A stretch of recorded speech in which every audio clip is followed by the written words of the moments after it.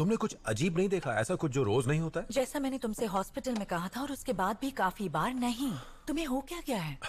देखो हालाँकि बहुत ही कम चांस है पर पता नहीं मुझे ऐसा क्यों लग रहा है कि तुम्हारे कार एक्सीडेंट के ज़रिए मेरे डैड मुझे कोई मैसेज भेज रहे हैं।